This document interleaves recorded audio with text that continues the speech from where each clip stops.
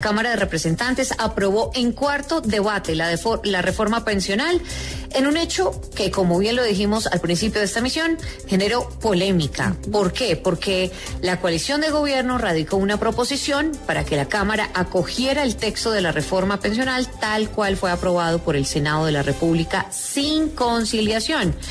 Después de aprobar todo esto, mmm, hecho de avalar el texto de la reforma, tal cual estaba, pues se procedió a tramitar en una sola votación la totalidad de los artículos de esta reforma. Ya fue aprobada por el Congreso y ya pasa a sanción presidencial.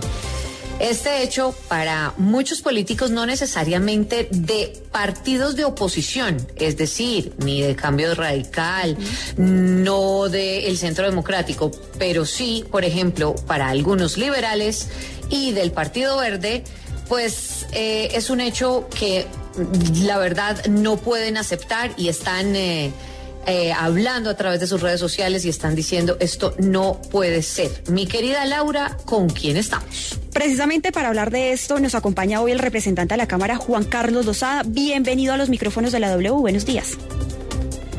Muy buenos días, Laura. Muy buenos días para toda la audiencia de la W por las mañanas en el fin de semana. Muchas gracias por la invitación.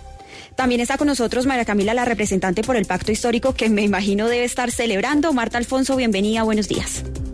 Muy buenos días para ustedes, para el representante Lozada y sobre todo para la audiencia que nos escucha. Representante Alfonso, eh, empiezo con usted, con todo esto, ¿cómo fue llegar a este acuerdo? Porque pues muchos lo tachan de inconstitucional e incluso muchos dicen que esto deja un mal precedente para que posiblemente también se haga lo mismo con otras reformas. Sí, es una decisión muy difícil que se tuvo que tomar. Ayer eh, llevábamos tal vez 11 horas de debate, menos tal vez 6, 7 horas de debate, y mm, se habían aprobado solamente 6 artículos, pero además eh, llevábamos ya como cuatro sesiones en las que solo se había podido avanzar en esos seis artículos porque se había roto el quórum en dos ocasiones, habíamos votado más de 150 impedimentos que pues fueron las primeras tres sesiones o dos sesiones. O sea, muchas dilaciones en el proceso de debate que ayer, seis de la tarde, pues nos permitían medir que no iba a dar el tiempo para la reforma pensional y era eso o que se hundiera. Eh, una decisión muy difícil porque el trabajo que se había hecho en comisión séptima, eh, la revisión de cerca de mil proposiciones para el debate en, en la plenaria de Cámara, eh, pues habían mejorado mucho el texto, habían desarrollado buena parte de, de elementos que no estaban tan desarrollados o habían resuelto problemas con los que venía el, el texto de Senado. pero bueno, pues era Mm, tomar esa decisión ya a esa altura o, que se enviara la reforma. Y pues decidimos acogernos al bien mayor. Sí, representante Lozada, esta reforma venía, como ya lo decía la congresista, discutiéndose y fue aplazada por todo lo que pasó con la elección del Contralor. ¿La proposición era realmente el único recurso que quedaba para que no se hundiera o qué más se podía hacer? No, es absolutamente falso lo que está diciendo mi compañera Marta Alfonso, a quien aprovecho para saludar. Ella sabe cuánto la quiero, cuánto le tengo aprecio, pero realmente todo lo que ha dicho aquí es mentira. Eh, primero, hacer la siguiente claridad, María Camila y Laura. Yo estaba votando favorablemente a la reforma pensional, es decir, yo no soy uno de esos barras bravas que se iba a oponer de todas las maneras posibles y que iba a hacer todas las artimañas posibles para hundir una reforma. No, no están hablando con ese representante. Están hablando con un representante que estaba apoyando a esta reforma. Lo segundo, en Colombia nos hemos acostumbrado a que aquí las discusiones de fondo tienen que darse como un relámpago. Yo le pongo un ejemplo muy sencillo. La regulación del cannabis en Alemania se demoró dos años en discutirse para hacer un piloto sencillo, nada, nada realmente estrambótico, dos años. Una reforma de este nivel en cualquier congreso serio del mundo occidental se hubiera tomado por lo menos dos o tres años en su discusión. Y la doctora Marta Alfonso se queja aquí de que el proyecto haya tenido casi un año de discusión o algo más de un año de discusión. Es que aquí estamos hablando del futuro pensional de millones de colombianos. Esto no se tiene que hacer era la carrera. Por otra parte, quedaban siete días de sesiones en la Cámara de Representantes, siete días, con una mayoría que ayer demostró ser absolutamente aplastante, porque cuando usted ya decide tomar el camino del todo vale, el camino del atajo, el camino contrario a la democracia y a la representación real del pueblo colombiano que se da justamente en la voz del Congreso de la República, es porque usted, como lo hicieron otros gobiernos en el pasado, tiene mayorías suficientes para tomar decisiones tan absolutamente polémicas. Luego, no tenían problema en las mayorías, no iban a tener problema en los quórums.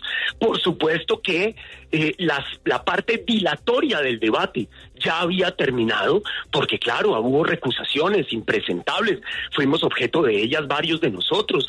Por supuesto que hubo un carrusel de impedimentos por el miedo que tuvieron los congresistas, pero esas son las cosas normales de cualquier debate en el Congreso de la República, María Camila. Usted que siguió de tan cerca el proceso de la prohibición de las corridas de toros, sabe perfectamente que nosotros también fuimos víctimas de todos esos recursos que permite la ley, por supuesto, y que son realmente impresentables. Eso no lo niega nadie. Había suficiente tiempo para conciliar. Aquí la realidad, que es lo que debería decir la doctora Marta Alfonso, es que aquí no había un problema de que el proyecto se hundiera. El proyecto saldría, hubiera salido ayer o hoy o cualquiera de los días que teníamos y les quedaban días suficientes para la conciliación.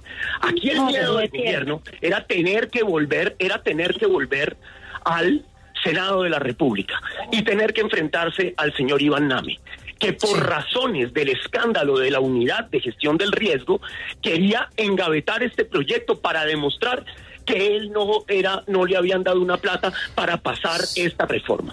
Esa es la realidad. Y eso no tiene nada que ver con el trámite en la Cámara de Representantes. Pero en cambio, Marta, sí decidieron convertirse en lo que ustedes tanto criticaron en la vida. No, no, pero te déjame terminar, y después te escucharé con toda la atención.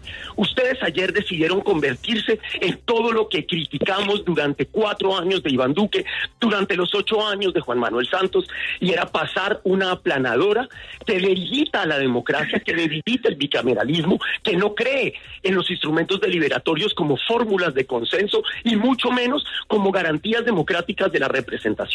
Y eso los empieza a meter en el camino del autoritarismo y por supuesto que eso sí es terriblemente grave para la democracia colombiana y por supuesto que es una contradicción total y absoluta con todo lo planteado por el presidente Gustavo Petro durante años de congresista.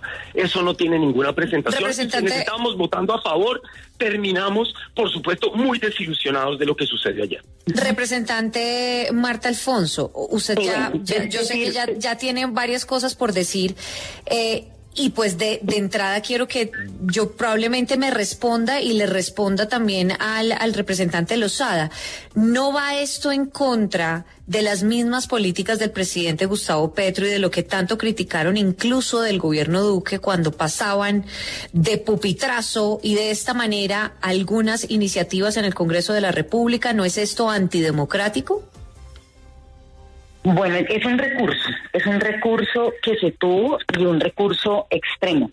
En efecto, eh, hay una un trámite que había que desarrollar posterior a que se hubiese votado el proyecto en Cámara, como lo dice el representante Lozada, y es que iba una conciliación. Realmente no quedaban siete días si a veces no se logra quórum en semana, mucho menos lo íbamos a lograr sábado y domingo, así que esos dos días no se pueden Tenían los votos, tenían los votos plenos de todos los que estuvieron ahí, Marta, todos. Juanca, Juanca, dijiste que me ibas a escuchar. los votos. Quedan, quedan, los quedan votos los tenían cuatro jornadas de la próxima semana, quedan cuatro días de la próxima semana solamente. No habíamos avanzado sino en seis votos a las 6 de la tarde, habiendo empezado a las 12 del día, 12 y 20 del día de ayer. No se había logrado eh, avanzar ni siquiera en lo más polémico de la reforma y entonces significa que hubiéramos tenido que ir la otra semana a debates, pero además volver, como lo dices tú, Juanca, al al Senado a la conciliación con la posibilidad de que el presidente Iván Name no agendar a la conciliación, toda vez que se ha declarado en diversas oportunidades enemigo del gobierno y de las reformas. Era poner en sus manos la posibilidad de que se hundiera esta reforma. Y es lo que nos llevó a tomar esta decisión. ¿Qué hacemos? O sea, era la posibilidad de acoger el texto de Senado y tener una reforma del sistema pensional que es absolutamente necesaria porque hoy es insostenible el sistema pensional que tenemos, o nada. Era eso o nada. Así que a pesar de lo difícil de la decisión, a mí me costó mucho trabajo porque le hemos metido toda la rigurosidad durante el último mes, hemos dormido muy poco, hemos trabajado demasiado para poder mejorar ese texto. Eh, tocaba eso o nada. Así que decidimos, como, como les he planteado, eh, sacar adelante la reforma que es lo que se comprometió este gobierno al que yo apoyé eh, para, para los colombianos. Se comprometió con una reforma a la salud, la hundieron, se comprometió con eh, declarar la educación como derecho fundamental, está a punto de hundirse porque no hubo mayorías en la comisión primera para sacar la reforma del gobierno, se termina sacando una enmienda absolutamente contraria a la naturaleza del proyecto que presentó el gobierno. De hecho, a pesar de que está hace una semana radicada la ponencia, todavía no se ha agendado el debate y esto mismo podría pasar. Todo lo que el presidente del Senado, Iván Nami, puede parar, lo ha parado para que no avance ninguna reforma de este gobierno. Entonces era quedar en las manos del presidente Name y permitirle que hundiera una reforma que es absolutamente necesaria para el país. Sí, es que me llama la atención porque el representante Lozada eh, dice que esto no es así, no es que no es que no hubiera pasado si no hubieran eh, usado este recurso. ¿Por qué dice eso, eh, representante Lozada? Porque es que acá nos está explicando eh, la representante eh, Marta Alfonso que, digamos, bien o mal la práctica, esa práctica que incluso desde el mismo pacto histórico han eh, criticado en ciertas ocasiones, en varias ocasiones, que se ha mm, utilizado para pasar algunos eh, proyectos, pues eh, bien o mal se ha utilizado en distintos partidos políticos y para pasar distintas cosas. Ahora, ¿usted por qué dice que había más opciones? y que esta no era no era no era lo, lo último que quedaba el último recurso Bueno, primero que todo porque es evidente que los votos estaban. Imagínense, si tienen mayorías para pasar la aplanadora como lo hizo Iván Duque, como lo hizo Juan Manuel Santos, como lo hizo eh, el propio Álvaro Uribe Vélez por el Congreso de la República, hoy en la Cámara de Representantes, que hay que recordarle a Marta que no fue quien hundió la reforma a la salud. La Cámara de Representantes aprobó la reforma a la salud. Yo no voté ese proyecto, pero la Cámara lo hizo. Hoy la Cámara estaba lista para aprobar, como se demostró, votación tras votación de este proyecto, la reforma pensional. ¿Cierto? Entonces, digamos, decir que no hubiera habido eh, eh, eh, quórum es la cosa más falsa del mundo. El, el voto del sí tenía el quórum suficiente para armar ese quórum solos.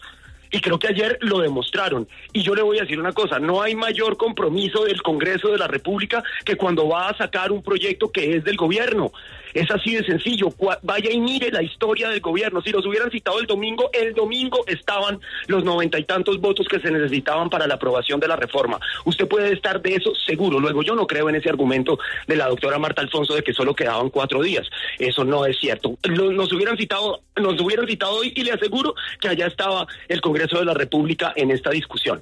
Por otra parte, pues claro que los votos están. Es que es que nosotros que estamos criticando lo que hizo el gobierno ayer, lo que hizo la doctora Marta Alfonso con su bancada, estábamos apoyando la reforma y estamos de acuerdo con ellos que esta era una reforma necesaria, pero también estamos de acuerdo, y lo dice aquí, además la propia coordinadora ponente eh, eh, que es de bancada de gobierno, que había unos temas que venían del Senado que era absolutamente necesario corregir y que por supuesto entonces no se aprobó una reforma que sea la mejor reforma para los colombianos, sino que simplemente a las patadas, a los trancazos, sacaron una reforma que tiene muchos problemas, que tiene muchas dificultades, que termina de hecho beneficiando aún más a los fondos privados que hoy se ganarán el doble de lo que se ganaban eh, eh, anteriormente y demás, solo por poner un ejemplo de las cosas que se hubieran podido corregir en la Cámara, que ella además como coordinadora ponente logró corregir en la Cámara de Representantes. Si el gobierno pasa por encima de alguien aquí, Marta, tristemente es de tu trabajo, de tu seriedad, de tu credibilidad. Eso sí que es una tristeza. A mí me daba mucha tristeza ver la cara compungida con la que te vi ayer en la Cámara de Representantes, sabiendo que el gobierno iba a pasar por encima de horas y horas de trabajo serio como el que tú haces, simplemente porque eh, prefirieron adoptar una vez más la filosofía de el fin justifica los medios y esa no puede ser una regla democrática. El fin no justifica los medios. Justamente para eso están las instituciones de este país. Para eso tenemos un Congreso bicameral. Si el Congreso bicameral se muere, como ustedes lo hicieron casi que lo, quisieron hacer ayer, ¿cierto? Eh, este Congreso hubiera, por ejemplo, aprobado cosas tan absurdas como el referendo eh, eh, contra la comunidad LGTBI de la doctora Vivian Morales. Eso lo el Senado y lo hundió la Cámara. El bicameralismo tiene un valor y ayer ese bicameralismo fue casi que destruido por supuestamente la fuerza más democrática que ha tenido Colombia, una fuerza que permanentemente está reclamando ser democrática contra una derecha antidemocrática en Colombia. Y entonces se convirtieron en la peor versión de lo que ustedes tanto criticaron. Yo no soy de la filosofía de eh, el fin justifica los medios y por eso terminé votando negativo cuando venía votando positivo, porque para mí están primero las instituciones, están primero, si se quiere, las garantías democráticas antes que cualquier proyecto de ley. Y entonces cuando uno toma el camino de que eh, tiene como primera medida el fin justifica los medios, pues eso se convierte en autoritarismos y se convierte en antidemocracia. Representante Marta, pero yo le quiero insistir, aquí no le parece que se vulneran varias cosas, le doy ejemplos, las reglas de procedimiento, el bicameralismo, dicen que, digamos, también cercen al poder de modificación de las plenarias, el rol de las comisiones de conciliación. Eso de reconocer lo del presidente Name también es muy grave, es decir, tantos esfuerzos, como usted dice, para que posiblemente se hunda en la Corte Constitucional. Pues bueno, eh, por lo menos hoy ya tenemos una reforma aprobada eh, que garantiza prestación anticipada para las personas que cumplieron la edad, tienen mil semanas, ya quieren retirarse y que pueden solicitar su pensión eh, y se les va descontando la mesada, de la cotización hasta que cumplan las mil trescientas semanas de esa mesada. Eh, tenemos el reconocimiento de las mil semanas de cotización para las mujeres, tenemos una gran cantidad de figuras dentro de la eh, reforma, dentro del sistema pensional que van a garantizar que las personas puedan pensionarse más fácil, la pensión familiar, bueno, una cantidad de herramientas que esta eh, reforma le entrega al pueblo colombiano para que sea más fácil pensionarse. Pero además hemos logrado reducir con esta reforma eh, los subsidios a altísimas pensiones, se subsidian hasta 25 salarios mínimos, con esta reforma se subsidiarán solamente hasta 2.3 salarios y eso significa un ahorro fundamental para el Estado colombiano, para los colombianos y colombianas. Entonces, hoy tenemos una reforma. Lo que sucedió, pues, eh, el método, eh, por supuesto, a mí me cuestiona mucho, pero tenemos una reforma. Estábamos ante la posibilidad de nada, de que se hundiera. Era casi que inminente que se fuera, que se hubiese hundido si le regresábamos eh, la pelota, perdónenme la expresión, a el presidente Iván Nami del Senado. Así que yo lo que creo es que aquí hemos avanzado, es el inicio de un proceso de reforma, de transformación del sistema pensional tendremos que hacer ajustes. Yo creo que hay que presentar un proyecto de ley para hacer esos ajustes que no se pudo, pero hoy tenemos reforma pensional eh, a puertas de una crisis del sistema actual que es insostenible y por eso eh, depuse los egos, depuse el trabajo que habíamos hecho juicioso, lo acordamos con el equipo de ponentes y dijimos a no tener nada, preferible acogernos a esta decisión para que tengamos una reforma pensional. Esto beneficia al pueblo colombiano más allá de eh, el, eh, escenario mismo del Congreso. Es una reforma que va a permitir que tengamos una transformación muy importante en el sistema pensional y en esa medida decidimos, como les digo, el bien mayor. Bueno, pues esperamos que esta reforma no la tumbe la Corte Constitucional. Gracias a los representantes Juan Carlos Lozada por estar con nosotros el día de hoy y a la representante ponente Marta Alfonso.